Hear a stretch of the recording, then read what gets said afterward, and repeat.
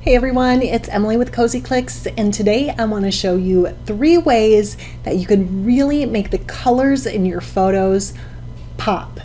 Now, before I do, I always like to connect with you guys, so let me know that you're watching. Leave a comment below telling me where you're watching from or what kind of photography you love the most. I always love to connect with you guys. But now, let's get started. So the first way that you can make colors pop in your photos is really, really simple. If you come down to the bottom to the adjustment layers where there's this half black, half white circle, and you select vibrance, you can easily pull out the muted colors in your photo.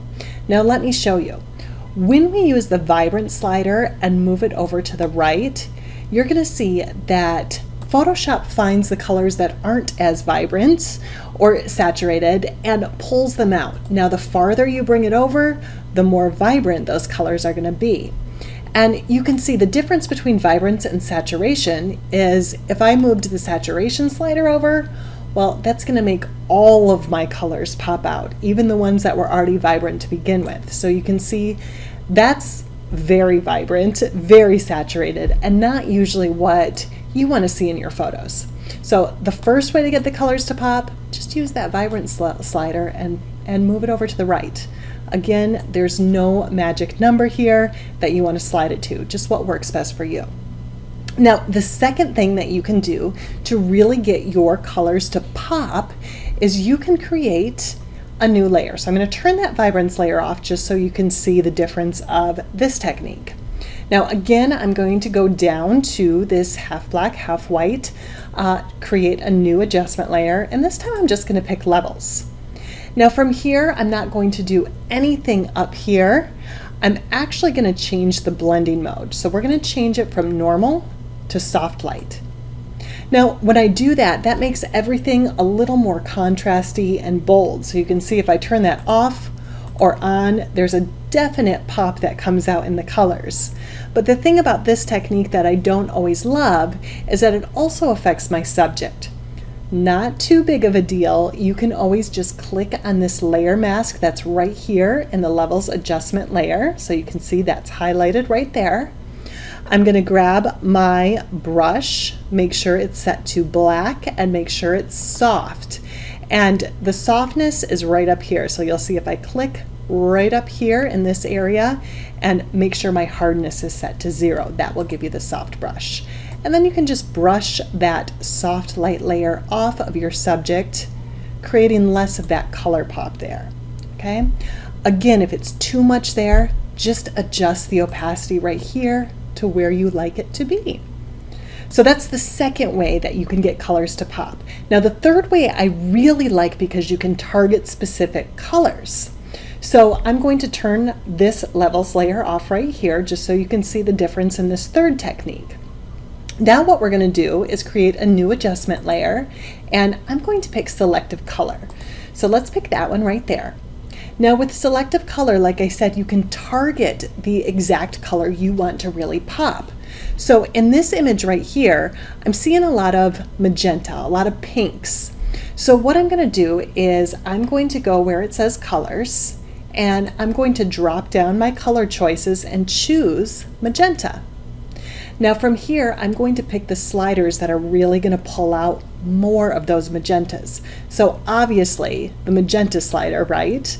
So let's take that one and we're going to move that to the right. I'm going to move it all the way over to the right so you can really see the magentas in the photo starting to pop. Now magenta also has a little bit of reds in it. So with the magenta still selected, I'm going to add reds into those colors too. Now you don't see red on any of these sliders and it's because red is actually the opposite of cyan. So we see this cyan slider here. So what I'm going to do here is take the cyan slider and move it to the left, the opposite. Okay, so I'm going to add a little more red to the magentas to really make those pop. Now you see it didn't affect her or the other colors in the image. Now, if I wanted to do a separate color, I could either do that right on this selective color layer here, or I could create a new one and choose a different color to pop out. For right now, I'm just going to use this same selective color layer, but this time I want to affect those blues and the cyans because there's a lot of that in this image. So what I'm going to do is I'm going to drop down and change that to cyan. I'm going to add in extra cyan, so all the way, and you can see that change there. And then I also want to add blue into the cyan too. Again, we don't see blue on any of these sliders, and that's because the opposite of yellow is blue. So we're going to take this yellow slider and bring it to the left to bring in more blues. So let's take a look. There it was before and there it is after. And we targeted those two colors. And you could go through and we could target the greens, we could target the yellows, we could target whatever color we wanted to to make that one specific color pop. And you know, the cool thing about this, you guys, is that you can stack these techniques too. So if I wanted to turn on every single one, let's see how color popping that looks.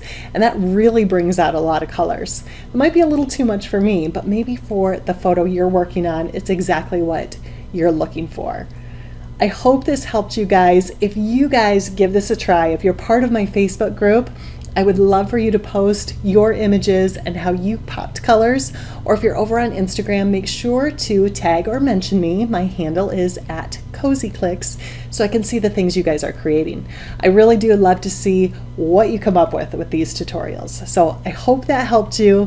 Thank you guys so much for watching. If you haven't subscribed to the Cozy Clicks YouTube channel, I would love if you would do that too. I'll see you next time, guys.